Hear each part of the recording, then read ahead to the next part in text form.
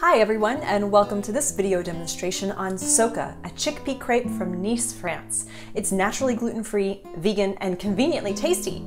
I'm Jenna Edwards, your cooking companion, and join my newsletter list for more videos like this. Socca is street food, meant to be snacked on while strolling through the flower market or down a cobblestone street. It's really wonderful in a brick oven, so your version in your home oven will be different, but it's still worth having around. I'm showing three approaches to Socca. A thick batter to attempt a pancake-like consistency using less water, regular batter using a one-to-one ratio of water to flour, and a thin batter using a touch more water than the regular batter. Here's a photo of my Socca when I visited Nice. It's ever so slightly charred on the outside edge, it's got body, but it's not dry or crumbly. It is oily, so I assume that contributes a lot to the texture. So here we go.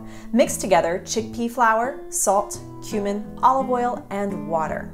Mix well and let it sit for two hours. This is a recommendation of food blogger David Lebovitz. Turn on your broiler to high and oil your pans. Cast iron is strongly recommended, but aluminum would work fine too. Get the oil even and place the pan in the broiler. Once your boiler and pans are piping hot, remove the pans and pour in the batter. You can see here with mine that the regular batter is already cooking in the hot skillet, and it spreads relatively easy in the pan. Here's the thick batter. I'm already doubting it'll turn out right. And here's the thin batter. It's very crepe-like. The pans will return to the broiler basically to cook the top of the crepe.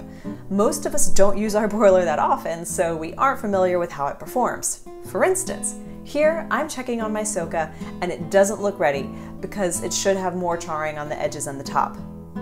However, here they are, out of the skillets, very charred and overcooked. They are dry, and my thin crepe is downright crispy. Now the flavor is still there, and they are very edible, but in this condition, I prefer to use it like a cornbread and sop up something juicy. So I'll try again with my remaining batter. I've both decreased the heat in the broiler and removed the pans earlier. Now here's how my second batch came out. Much, much closer to the intended consistency. There's body there, they can hold their own weight, but they aren't crispy or dry.